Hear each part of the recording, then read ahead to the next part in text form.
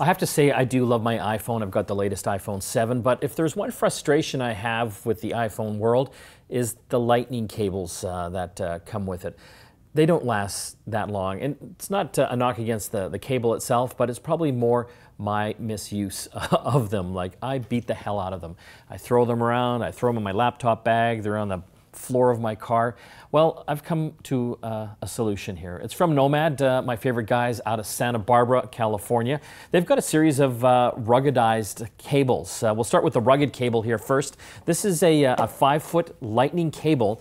But if you can see this, it's uh, rubber coated, and on the ends of each of the the, the ends themselves, they've got what are called little dirt caps. Uh, so on the USB connector here, you can basically pop that off and you can plug that into your, uh, your system. And on the other side, that's where the lightning cable is. And so this is going to protect the, uh, the end. So if you are hard on lightning cables, this is definitely something to have a look at. You're going to get a lot more life out of it.